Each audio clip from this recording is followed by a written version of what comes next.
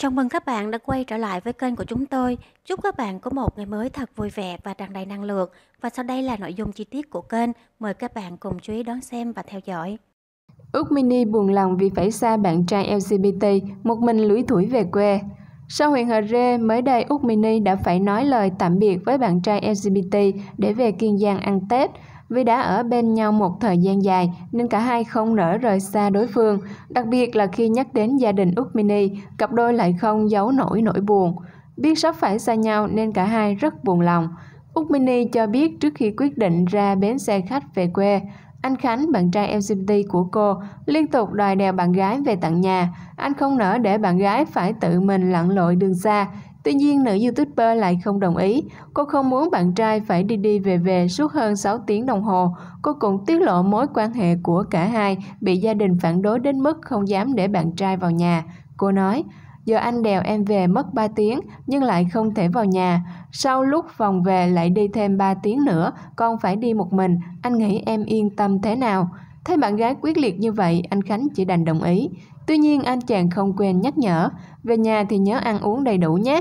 Nhiều lần em ở nhà một mình, anh gọi thấy đầu tóc sơ sát. Nhớ có lần em bệnh, anh chạy xe từ 2 giờ đến 5 giờ tới nơi. Không dám vào, chỉ đành gọi em ra mà thấy em hết hồn. Bọn cũng phải ăn uống đầy đủ giữ sức khỏe. Bạn trai rất lo lắng cho Úc Mini. Dù bạn gái đã lên xe, thế nhưng anh chàng vẫn không yên tâm rời đi. Chứng kiến điều này, Úc Mini rất buồn lòng, cô không ngừng khóc khi ở trên xe. Trong một clip trước đó, Úc Mini và bạn trai cũng đã tiết lộ lý do tại sao gia đình cấm cản hai người đến với nhau. Cô nàng cho biết gia đình hai người không cùng chung tín ngưỡng, Khánh còn là người thuộc cộng đồng LGBT, vì vậy bố mẹ Úc Mini rất lo cho con gái. Cả gia đình luôn sẵn lòng bảo bọc cô, không cần con phải làm gì hay dựa dẫm vào bất cứ ai. Trong khi đó, Úc ni lại rất trân trọng tình yêu này. Tuy bản thân chưa tính đến chuyện kết hôn có con, nhưng cô vẫn rất cố gắng bảo vệ khoảng thời gian hạnh phúc hiện tại.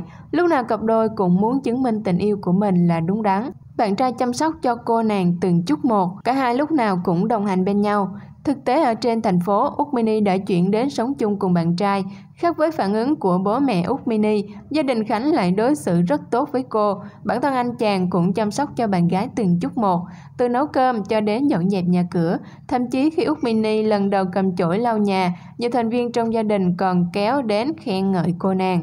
Không chỉ trong đời sống, bạn trai LGBT còn hỗ trợ Úc Mini làm YouTube. Dù nắng hay mưa, anh chàng cũng đều sẵn lòng đi theo giúp đỡ. Đây cũng là điều khiến Úc Mini vô cùng cảm động và biết ơn bạn trai. Gia đình Khánh rất yêu thương Úc Mini. Cô nàng cũng rất vui vì được bạn trai yêu thương. Dù không biết tương lai ra sao, thế nhưng Úc Mini và bạn trai vẫn rất cố gắng để tận hưởng cuộc sống hạnh phúc của mình. Mong rằng sự cố gắng của hai người sẽ được đền đáp xứng đáng. Bản tin của chúng tôi đến đây đã kết thúc. Cảm ơn các bạn đã quan tâm và theo dõi. Hẹn gặp lại các bạn ở những bản tin tiếp theo.